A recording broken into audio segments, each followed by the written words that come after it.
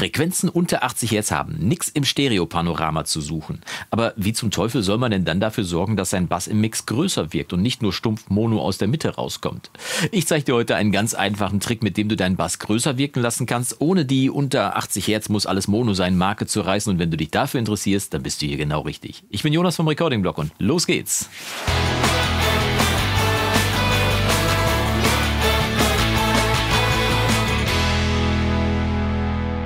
Tag und schön, dass du wieder eingeschaltet hast zu einem weiteren Video im Recording-Blog, meinem Kanal, in dem ich dir mit meinen Tipps und Tricks dabei helfen möchte, dafür zu sorgen, dass deine Musik demnächst genauso gut klingt wie die Großen im Radio. Und tatsächlich ist es hilfreich, wenn man im Mix dafür sorgt, dass die Bassfrequenzen, also unterhalb von 100 oder sogar 80 jetzt, möglichst mono im Mix erscheinen, damit man einen schönen, druckvollen und fetten Bass hat. Warum? Ist ganz einfach, wenn etwas mono erklingt, dann kommt es zu gleichen Teilen aus beiden Boxen des Stereopanoramas heraus. Und wenn wir uns die Box mal hier hinten angucken, da ist eine fette Pappe. Wenn die natürlich natürlich auf beiden Seiten gleichzeitig arbeitet, dann kriegt man auch einen schönen fetten Bass hin. Aber natürlich kann man äh, den Bass auch hin und wieder mal mit, einer, mit einem fetten Bassteppich schön modulieren lassen zwischen den beiden Speakern. Überhaupt kein Problem. Das bricht dann so ein kleines bisschen die Regel. Aber wenn du einen druckvollen oder groovigen Bass für deinen Beat oder für die Rockmusik oder die Popmusik haben möchtest, dann ist es doch hilfreich, wenn der Bass tatsächlich mono unterhalb von 80 Hertz spielt und man einen schönen druckvollen, fetten Sound bekommt. Aber wie soll man denn dann Räumlichkeit hinbekommen? Wie soll man einen etwas größeren Klangeindruck hinkriegen und dafür sorgen, dass der Bass eben nicht stumpf aus der Mitte kommt, sondern größer wirkt. Man hat es ja immer gerne larger than life. Dafür zeige ich dir heute zwei Wege, wie du das erreichen kannst und äh, die gehen wir am besten gleich mal in der Session an, die hinter mir schon offen ist. Falls dir dieses Video jetzt schon gefallen sollte, würde ich mich freuen, wenn du mir es zeigst über einen Daumen nach oben und wenn es dir nicht gefallen sollte, dann drück einfach zweimal auf Daumen nach unten und hier auf das nächste Video. Aber wir gehen jetzt mal in die Session und schauen uns mal an, wie man einen räumlichen, größeren Charakter für sein Bassinstrument hinbekommen kann, ohne die Regel mit den 80 Hertz und in Mono und so weiter zu verletzen. Also los geht's. So, da sind wir schon in der Session und ich würde sagen, wir hören als erstes mal in das Beispiel rein, was ich vorbereitet habe. Ist der traditionelle Weihnachtssong, den ich mit meiner Tochter Selma jedes Jahr aufnehme. Und äh, den habe ich veröffentlicht auf meinem Zweitkanal, auf meinem Musikkanal. Wenn du da Lust hast, mal reinzuhören, dann kann ich dir den mal hier oben verlinken, kannst du mal reinschauen. Da erscheint auf jeden Fall jedes Jahr ein Weihnachtssong. Und dieses Jahr ist es äh, dies, wovon du jetzt diesen Ausschnitt hörst. Doch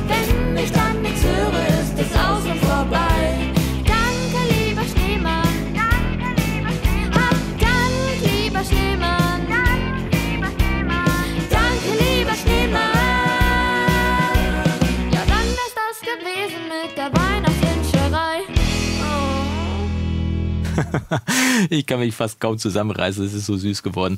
Auf jeden Fall, ähm, das ist das Beispiel, an dem wir das heute mal äh, anschauen wollen, das ganze Ding. Und ich habe natürlich einen Bass eingespielt, den wir hier auch hören können. Den schalte ich mal auf Solo. Sehr drahtig, sehr knurrig. Das ist der rote, der bunte hier hinten, der Rickenbacker 4001. Klingt auch genauso, wie er soll. Und ich habe aber parallel nochmal die Spuren äh, nochmal umgewandelt in eine, also die, die Drahtbassspur, die ich jetzt hier habe, ich sage immer Drahtbass, weil da Drahtseiten drauf sind, habe ich nochmal umgewandelt in eine MIDI-Datei, damit wir uns das Ganze auch am Beispiel von Samples anhören. Das ist äh, hier dieser äh, Markus Miller Bass hier von Native Instruments. Und dann habe ich nochmal einen Synthesizer vorbereitet, der klingt so.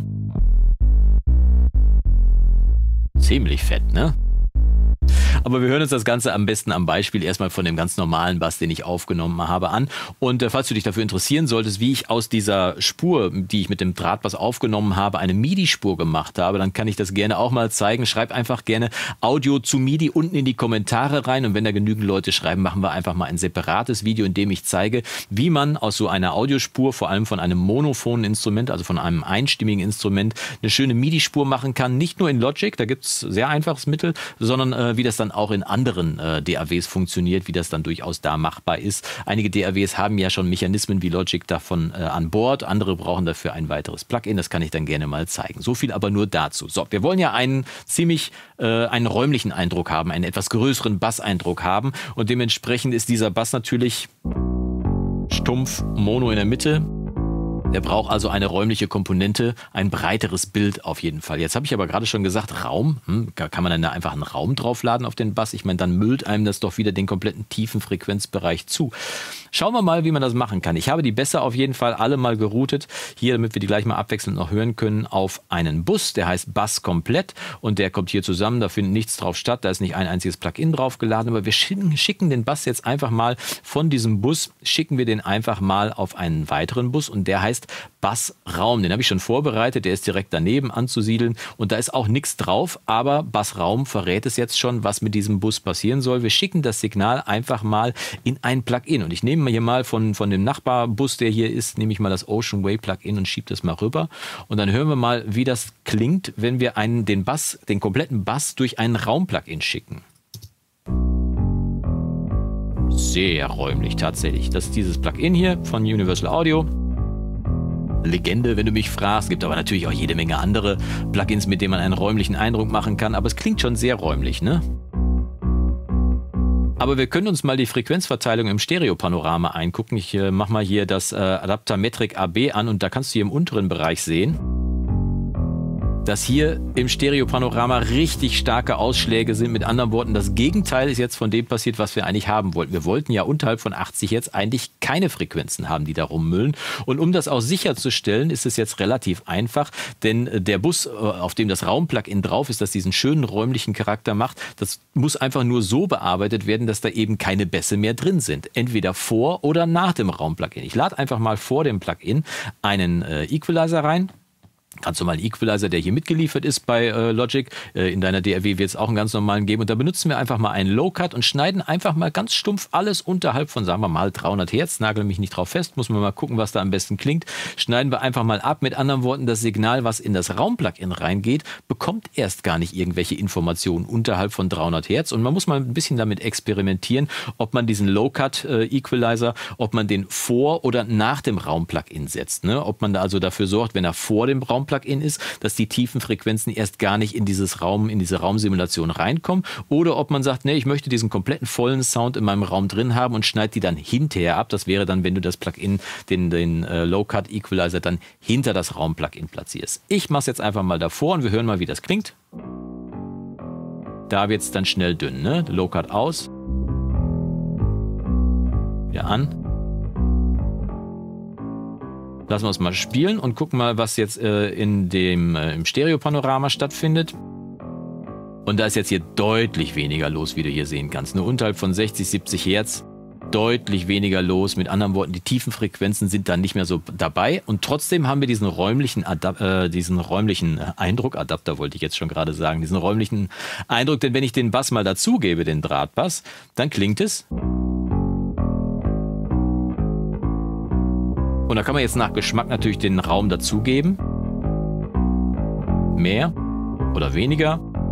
Macht man natürlich nicht solo, sondern macht man im Mix. Ich mache mal den Gesang aus, damit wir uns hier komplett auf den Gesang konzentrieren, äh, auf, den, auf die Musik konzentrieren können. Macht das Solo mal aus. Das klingt dann so.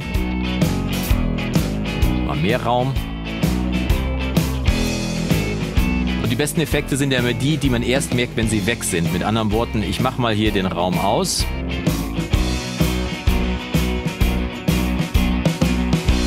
War vielleicht zu kurz. Ne? Wir machen es nochmal von vorne und ich lasse ihn mal mit Raum laufen und äh, habe den auch etwas äh, überbetont hier. Der ist natürlich jetzt ein bisschen zu laut. Machen wir mal volle Pulle, damit man es wirklich gut hören kann. Und mache ihn dann mal aus und achte mal darauf, wie der Bass tatsächlich im Mono in sich zusammenfällt oder eben, wenn ich es anmache, dann wieder größer wird. Klingt so.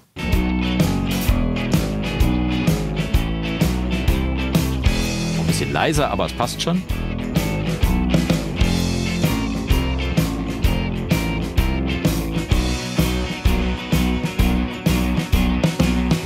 Also für meinen Geschmack ist es auf jeden Fall deutlich angenehmer, wenn der Bass eine kleines, ein kleines bisschen Rauminformation dazu bekommt und sich im Prinzip im Mix dann auch ein bisschen besser integriert. Der Bass wirkt insgesamt größer, ohne dass die Bassfrequenzen jetzt überbetont werden. Er ist auch ein kleines bisschen lauter geworden. Natürlich, wir haben Signal dazugegeben, aber das soll jetzt mal den Braten nicht fett machen. Wir hören mal kurz solo nochmal, wie die anderen Bässe klingen, wenn man den Raum dazu gibt. Machen wir mal äh, erstmal den normalen äh, Sampler-Bass, äh, der ja im Prinzip genau das gleiche spielt äh, wie das, was ich eingespielt habe.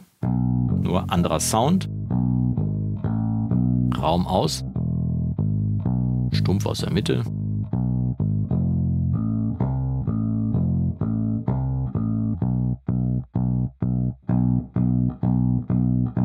Kriegt einfach eine weitere Dimension hinzu. Ne? Und das gleiche natürlich dann auch beim Synthesizer. Äh, mal gucken, wie deutlich es da wird, wenn wir den Synthi anmachen, solo mit dem Raum zusammen. Und ich lasse den Raum am Anfang wieder an und nehme ihn dann einmal weg und mache ihn dann wieder dazu.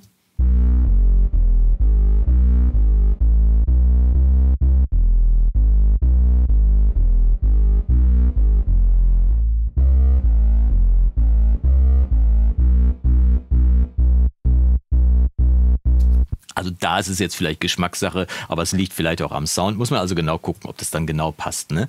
Wenn du jetzt aber sicher sein möchtest, dass äh, auch durch diese Maßnahme, durch den Low-Cut, den du gesetzt hast, entweder vor oder nach dem Raum, den du dazu regelst, dass trotzdem die letzten restlichen Frequenzen unten im tieferen Bassbereich eben nicht mehr zu hören sind, dann gibt es natürlich noch einen weiteren Schritt, den du einfügen kannst und der sich durchaus in jedem anderen Mix auch anbietet, egal ob du räumliche Informationen im Bass dazu gibst. Und das ist einfach mit einer Art Monomaker, den gibt es hier zum Beispiel von Brainworks, den habe ich mal hier auf den Musikbus geladen, wo die komplette Musik zusammenkommt, äh, dass du da mit dem Monomaker, das ist dieser Regler hier, äh, die Kollegen von Brainworks hier einbauen, dass du damit einfach sicherstellst, dass alles unterhalb von 80 Hertz tatsächlich auf Mono geregelt wird. Dass also wirklich, selbst wenn Stereoinformationen unter 80 Hertz da sein sollten, dass die eben hier nicht einfach äh, mit ausgespielt werden, sondern dass die auf Mono geregelt werden und dann auch Mono sicher aus der Mitte kommen.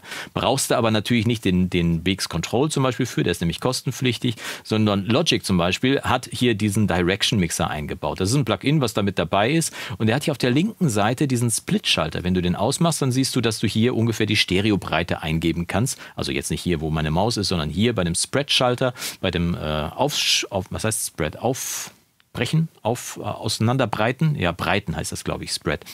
Also mit dem Ausbreitenschalter hier kannst du einstellen, 1.0 ist 100% normale Stereobreite und wenn du den zurückschieben würdest auf 0, dann wäre das alles komplett Mono. Und mit dem Split hier auf der linken Seite kannst du dafür sorgen, dass es einen oberen und einen unteren Bereich gibt und zwar genau hier an dieser Crossover, an dieser Grenzfrequenz, die man hier einstellen kann. Zum Beispiel 80 Hertz, wie praktisch, ne? wie beim Monomaker gerade. 80 Hertz hier eingestellt, das heißt alles unterhalb von 80 Hertz kann separat im äh, Stereopanorama beeinflusst werden hier mit Direction Low. Low ist alles unterhalb der Grenz Grenzfrequenz und High ist dann oberhalb der Grenzfrequenz. Das habe ich hier auf 100% gestellt. Das heißt, hier überhalb, oberhalb von 80 Hertz ist hier 100% normale Stereobreite und hier darunter Spread Low ist auf 0. Man könnte das natürlich jetzt hier ein bisschen aufbrechen oder so, aber wir wollen ja den Monomaker-Effekt haben und dementsprechend wäre das dann hier, dass damit alle Frequenzen unterhalb der Grenzfrequenz, in diesem Fall 80 Hertz, dann tatsächlich Mono gemacht werden. Damit kann man auf jeden Fall sicherstellen, dass im Mix alles unterhalb von 80 oder sagen wir mal auch 100 Hertz, musst du mal rumexperimentieren, was bei dir am besten besten klingt, da, dass das alles Mono rauskommt und tatsächlich beide Speaker die Chance haben, möglichst druckvoll viel Bass über die große Pappe rauszuhauen. Ich hoffe, äh, das hat dir ein bisschen was gebracht. Ich äh, würde mich freuen, wenn du mir mal deine Erfahrung unten in die Kommentare reinschreibst, was du für Erfahrungen gemacht hast mit breiten Bässen, ob du voll drauf stehst oder ob dir das egal ist, dass die Bässe Mono sind oder Stereo, dass du einfach sagst, nee, wenn es gut klingt, dann gefällt es mir auch gut. Schreib mir gerne mal deine Erfahrungen, deine Präferenzen, deine Vorlieben unten in die Kommentare rein, dann können wir alle nochmal davon lernen. Vielleicht ist ja bei dir auch der ein oder andere Trick dabei, den wir noch nicht kennen. Und dann mache ich demnächst mal ein Video zu deinem Trick hier. Äh, ich wünsche jetzt auf jeden Fall erstmal viel Spaß beim Ausprobieren, viel Erfolg und äh, hoffe, dass deine Mixe demnächst noch ein kleines bisschen besser klingen. Und wir sehen uns dann die Tage wieder zu einem weiteren Video im Recording-Blog. Und bis dahin wünsche ich dir vom Guten das Beste. Mach's gut und Yassou!